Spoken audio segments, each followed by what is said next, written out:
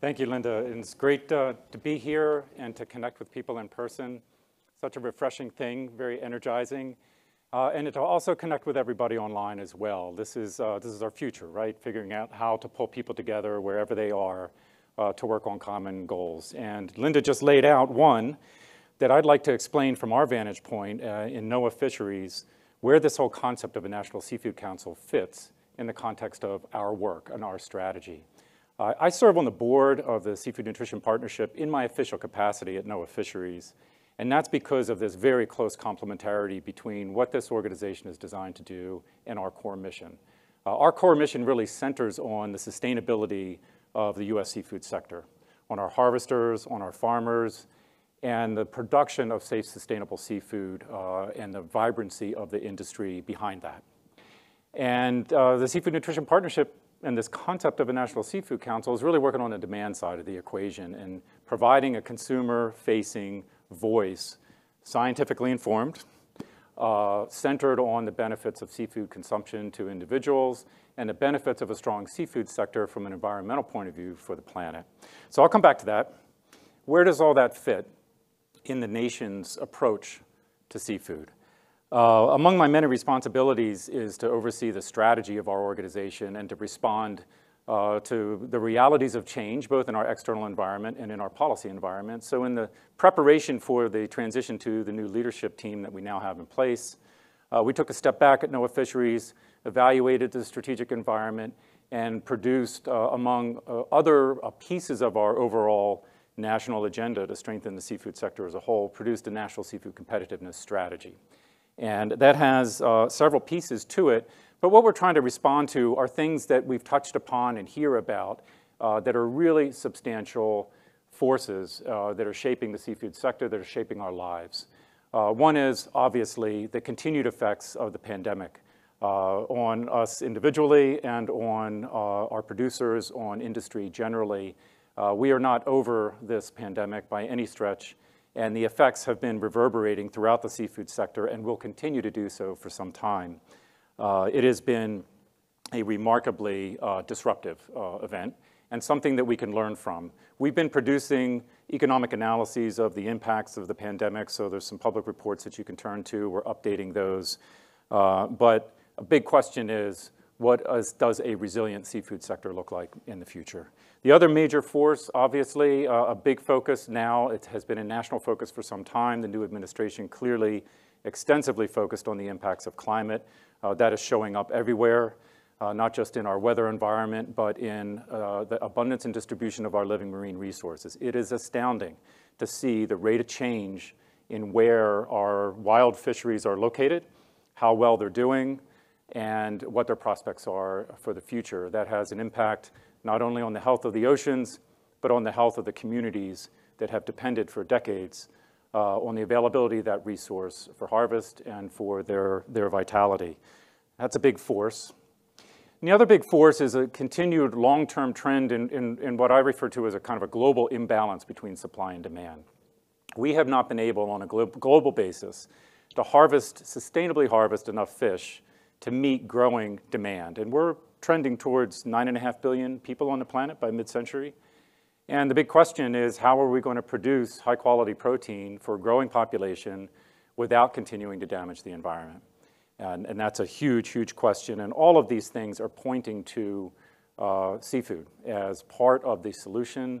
Uh, and we've got a lot of challenges to face to be able to, to, to exercise um, the opportunity to strengthen that sector. So when we think about a national seafood strategy and a national seafood council. It's part of a four-part picture from NOAA Fisheries' vantage point. Our core mission, our number one thing that we always focus on is the health and sustainable management of our wild capture fisheries. So that's part one.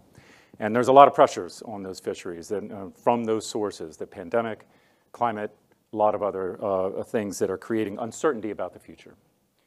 The uh, second part of that strategy is to look at opportunities to increase production. Because if we are successful, as we talked about the other day, in generating stronger and stronger demand, increasing per capita seafood consumption, we've got to look at where the supply is going to come from.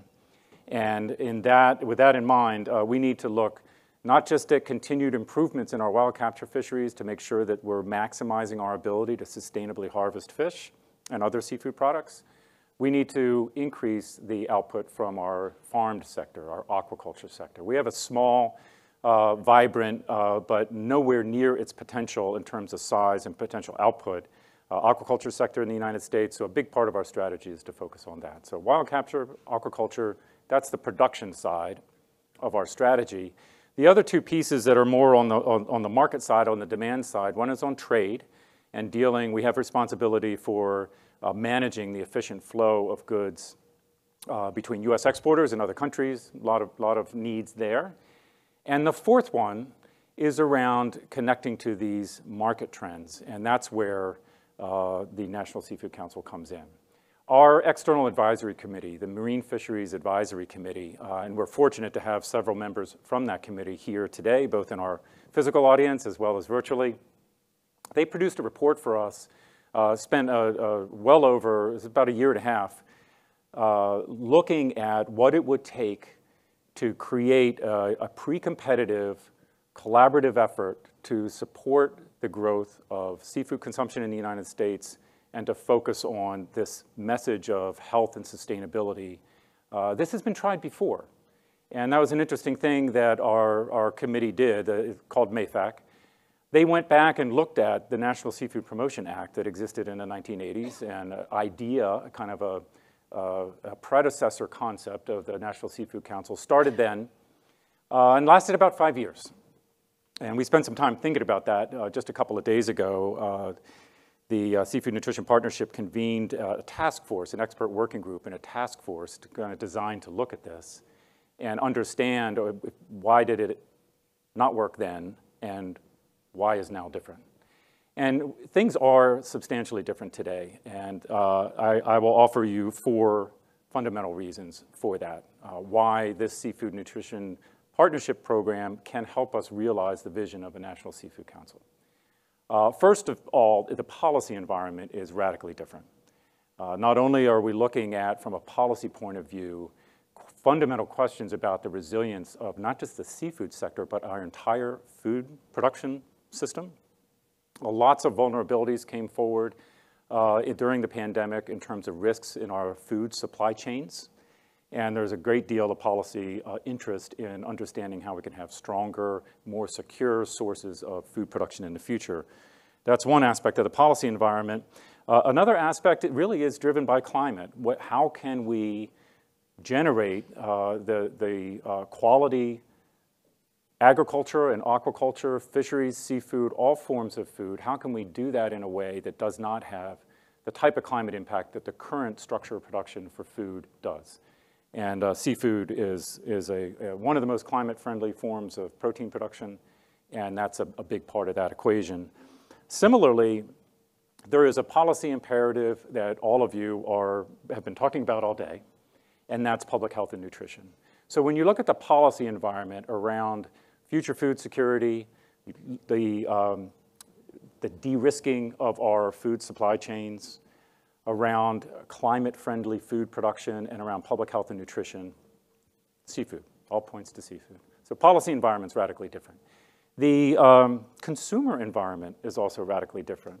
And there have been some trends preceding the pandemic, but I think were really accelerated during the pandemic, where folks are much more uh, focused on their health. They're focused on their diet, the impact of their diet on their health, the health of their families. They want to know where their food came from. They want to know that it's sustainable. They want to know that it's safe. They want to know that it's high quality. And there is a substantial uh, role, um, uh, kind of a public policy role uh, in all of those questions uh, that we're here to talk about. But that's a really different environment in terms of consumer attitudes. They are buying seafood in greater measure than before from some uh, current indicators. Consumers are preparing seafood at home more, which was a big, very difficult nut to crack. Folks really enjoyed seafood at their local restaurant tended not to produce it at home.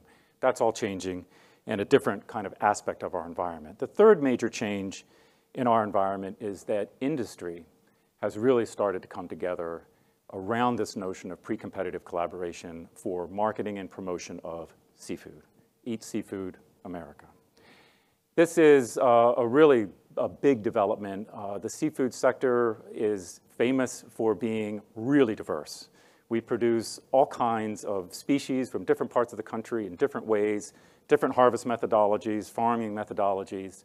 It's uh, not a highly concentrated industry. To get the industry oriented around a common objective like this, it's, uh, that's a non-trivial problem. And there's been some incredible uh, uh, uh coalition building happening in the industry around this idea. Uh, and regardless, large, small, uh, farmed or, or wild capture, different species, different parts of the country, different places in the supply chain from harvesting or farming all the way through to retail, coming together to realize that the industry as a whole needs to act in a concerted way to stabilize the market, provide greater organic demand, and to help us meet these public objectives that we have for planetary and for public health. There's a fourth major change between now, uh, where we are today and where we were in the, in the mid-80s, and that's, uh, that's right here. We have the Seafood Nutrition Partnership. Did not exist at that time. We didn't have the discussion that we're having today. We didn't have the community being brought together in this way, cutting across all, all sectors, different components of industry, different components of the academic sector, different components of the nonprofit world, philanthropic support. Uh, this organization has been convening a consumer-facing, positive message that all of these types of organizations can contribute to, to eat seafood, eat seafood America. The demonstrated success of that campaign and the capability that this organization has shown to bring the best available science forward, to figure out how to communicate that, and to use contemporary techniques to change consumer behavior, that's a phenomenal, phenomenal strength that we have to capitalize on. So when our Marine Fisheries Advisory Committee kind of proposed this idea of a National Seafood Council, uh, we have now, and did not have years ago, an organization that can step forward and say, we know how to do that. So we're in a good place. Uh, and it is a great pleasure for me uh, to see the strengthening and the broadening of the voices across all of these sectors, recognizing the value of, of seafood, the connectivity of seafood to sustainability, the connectivity of seafood to health. These are really fundamental um, policy issues. They're fundamental societal issues. They are fundamental economic issues. So we're 100% committed to this agenda, to strengthening our U.S. seafood sector. We're doing our part to try to figure out ways to sustainably grow our ability to produce seafood. And we're working uh, and very pleased to work and to support uh, the Seafood Nutrition Partnership, but also this specific event uh, as part of our effort to bring greater awareness to these public benefits of, uh, of seafood consumption. So I'm not the only champion of the Seafood Nutrition Partnership uh, uh, effort here in Washington, and we're very pleased to have here today uh, some voices that we'll be showing on video from two uh, major champions of the seafood sector and the Seafood Nutrition Partnership in Congress. We have Senator Lisa Murkowski from the great state of Alaska and Senator Roger Wicker from the great state of Mississippi uh, here to testify to their support for this effort. And they are two of the leading voices and the growing chorus of voices on the Hill, recognizing the value of the work that we are all doing collectively, recognizing the need to build a stronger seafood sector, recognizing the need to connect to consumers in new ways. So very pleased uh, to introduce uh, Senators Murkowski and Senator Wicker, and again, uh, very pleased to be supporting the Seafood Nutrition Partnership Program and the just phenomenal work that they have done over the course of the last few years. Thank you.